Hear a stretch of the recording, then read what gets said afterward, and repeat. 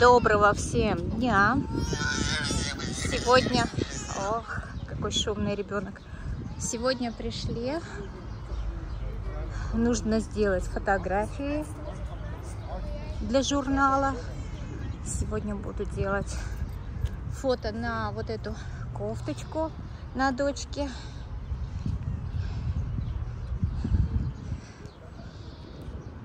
Вот такая красота у нас. Осталось сделать фото для журнала. Сейчас вот локацию хочу найти красивую. Мне вот это, вот эти елочки очень понравились. На их фоне можно, на фоне церкви. Каждый раз, чтобы локация была разная. Интересно, что было. А то одно и то же, э, тоже глаз как-то замыливает. Вот, какая у нас красивая. Посмотрите, как красиво церковь, как видно. Такая погода, уже совсем лето-лето. Очень жарко на улице. Вот, и сейчас мы где-нибудь здесь пристроимся и сфотографируемся.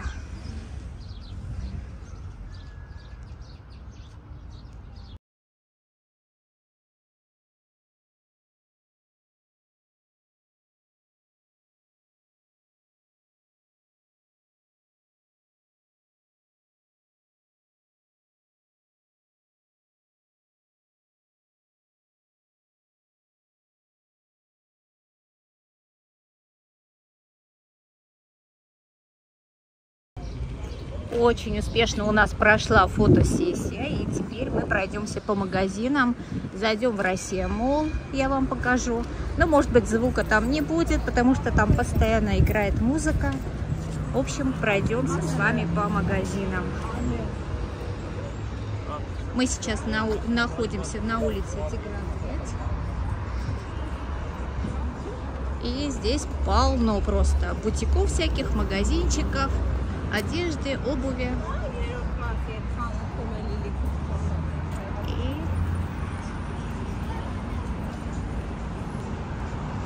Сейчас перейдем улицу и зайдем в Россия Молл.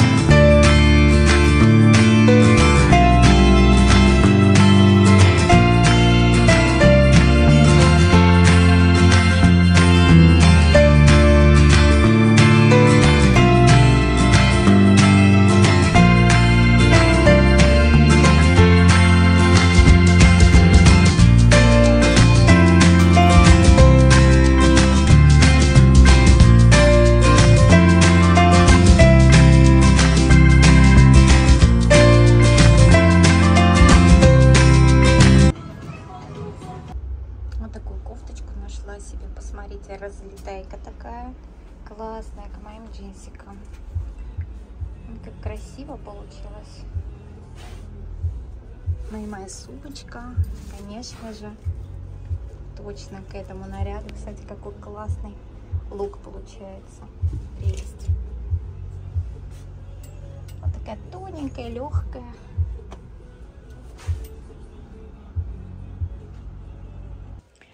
Обещала вам много снимать в городе. В городе не получилось много снимать, потому что бегали по магазинам, то одно, то другое. И потом я вам скажу, ничего, честно говоря, такого сверхъестественного. Из одного магазина товар повторяется и в следующем почти все одно и то же. Э, инкубатор вот как бы присутствует. И найти такую вещь, которая вот редкая, это такой вот... В общем, любим мы это дело, найти такое Э, блузку или коу, там платьица, брючки, что не в каждом магазине увидим. Э, в общем, лю любим единичный товар. Ну, из-за этого я и занимаюсь рукоделием, потому что люблю э, не то, что даже выделяться, но во всяком случае не, э, ну, не быть похожей на других. Вот, и покажу вам для моих рукодельных подружек, которые подписаны на меня, что я приобрела в магазине. Э, конечно, ну если э, зашла в магазин, пошла по магазинам, значит и пряжу взяла. Значит, я зачем взяла я такой цвет яркий. К нему взяли и замочек на всякий случай. Это не к нему, не к этой пряже. Здесь у меня два моточка вот какая-то пряжа, я ею не вязала, это макраме называется пряжа, 200 грамм, 120 метров. Это 5-миллиметровый шнурок, вот такое название у него. Э, хочу связать сумочку. Сумочку, почему сумочку? Потому что мы сегодня купили дочки, брючки вот такого цвета. И, как всегда, девочка, значит, срочно нужна сумочка, к брючкам. Ну и не только к брючкам. Сейчас фуксия, вы знаете, это цвет лет, этого лета цвет. И не только в сумочках, но и в одежде, и во всем очень модная такая, очень модный оттенок, и всем советую. Между прочим, этот цвет очень прекрасно смотрится, сочетается с бежевым, с черным, с белым. Ну, в общем, прекрасный вот такой цвет. И я вас уверяю, вот эта фуксия еще очень красиво смотрится с зеленым. Так что вот это как бы мои для вас такие лайфхаки. Если кому-то нравится мой вкус, вот можете попробовать. Какая будет сумка, мы еще не решили. Просто вот так на бум взяли этого цвета пряжу. И еще я уже давно присматриваюсь к графии и хотела заказать на Валбересе, конечно же, самую шикарную ISP э, рафию, которая стоит недешево, но так как нам срочно-срочно нужно, зашли в магазин, увидели пряжу и сразу купили. Ну, взяла 200 грамм вот такой рафии, скрученной. Вот, посмотрите, какая она. Это две ниточки. Сейчас я вам покажу. Вот. Здесь две ниточки между собой. Они каждая по отдельности скрученная. И потом скрученные между собой. Так как арафии идет очень много вот историй, что это все э, бумага простая, это не обязательно там из пальмы, э, из пальмовых веток, там листиков непонятно из чего. Вроде бы вот эта дешевая рафия, которая э, она отличается тем, что при том, как она намокает, она тут же рвется. Во-первых, это очень крепкая ниточка, мы ее попробовали. Дальше я отрезала, конечно, обязательно кусочек его намочила и посмотрите, раскрыла.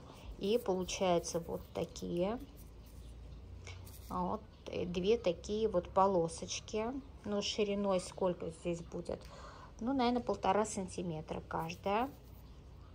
Полтора там сантиметра и три миллиметра, вот так. И они скрученные между собой. Вот. Я их как следует потянула, подергала, совсем они не рвутся. Так что если, как говорят, под дождем с этой сумочкой пройдешь, и она у тебя превратится, прям может так все изнутри упасть, потому что она раскроется.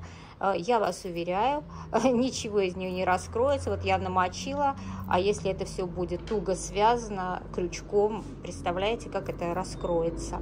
Ну, в общем, это это вот эксперименты с этой пряжей. Недорогая совсем рафия, продается у нас в Ереване, в магазине обычном. Так что они разного цвета там были. Э, почему-то очень маленький ассортимент был. Ну, в общем, не главное то, что нам нужно было, мы нашли. И взяли вот такие бусинки. Смотрите, какие красивые. Но это тоже граммами продают. Это все очень недорого стоит. И вот такие.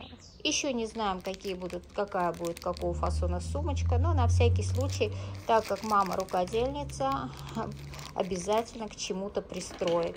В общем, взяли продолговатые и круглые бусины. Вот такой у нас улов. Купили обязательно вещи из одежды, из продуктов, но Давайте этот раз я все это вам показывать не буду. А кофточку, которую я вам показала на себе, конечно же, я ее взяла. Ну все, на сегодня я с вами попрощаюсь, чтобы видео не делать очень затяжным. Всем хорошего продолжения вечера и пока-пока.